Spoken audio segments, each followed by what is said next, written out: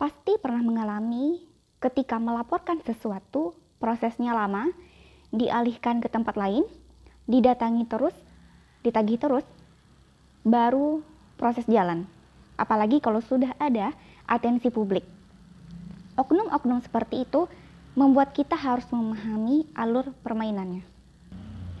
Atas suatu laporan, kita lihat lembaga atau institusi apa yang terkait.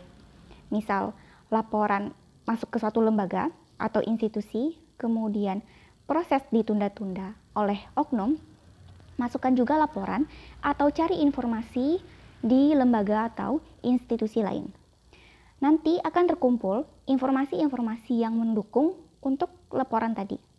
Ditambah lagi, jika sudah mengunjungi atau mendatangi lebih dari satu lembaga atau institusi, oknum-oknum yang lama memproses suatu laporan akan mendorong dia untuk memproses laporan itu. Sebenarnya kenapa juga harus ada oknum-oknum yang jadinya merugikan masyarakat.